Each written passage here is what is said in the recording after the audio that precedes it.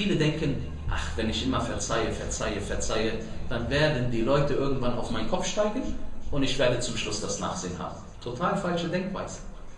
Der Prophet Muhammad sallallahu alaihi wasallam sagte, Ma Allahu bi'afwin illa izza. Je mehr ein Diener vergibt, verzeiht, umso mehr Wert hat er bei Allah. Umso mehr Wert hat er bei Allah, liebe Geschwister.